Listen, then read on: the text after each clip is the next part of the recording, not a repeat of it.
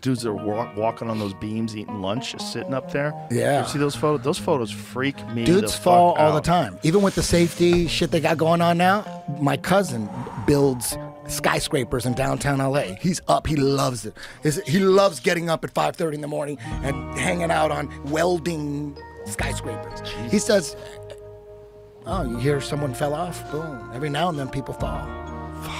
Can you imagine what that looks like? Fuck. Can you imagine the Imagine splatter? being that guy. You're making 15 bucks an hour. They make a lot. They make uh, way more than 15. They're like in the $40 range an hour something Oh, like that. okay. Yeah, they make good money. Still, 40 But still, I would not, dude, fall off fucking dude, beam. if I see a video of heights, I'm scared of heights. Like just on video, Yeah. it scares the shit out of me. I've I did the uh, VR, you know, where you're on that. Oh, yeah. I'm like, ah, I'm I had guy. Alex Honnold on a couple of times. You know who he is? No. He's that guy that free solo climbs.